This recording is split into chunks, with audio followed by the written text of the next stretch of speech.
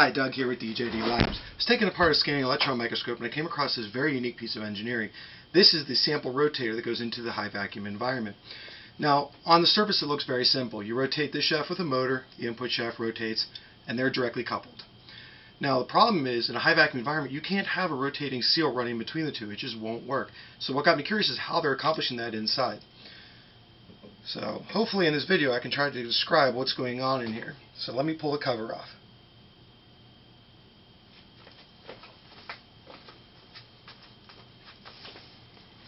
And I was surprised to discover this does not physically connect to that. What's going on inside here is there is a little small bevel joint with a corrugated stainless steel that rotates the output shaft. To better describe what's going on inside, think of it a lot like a universal joint. When I rotate this end, it spins that end. Same thing, if I hold this stationary and rotate it, it will spin the bottom end of the device.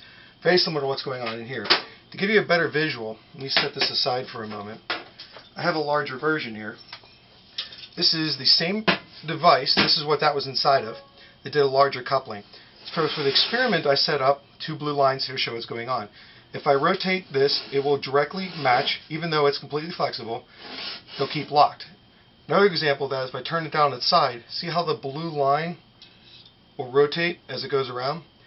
Now if I were to hold that blue line vertical while rotating, it would keep this part rotating no matter what angle I'm on.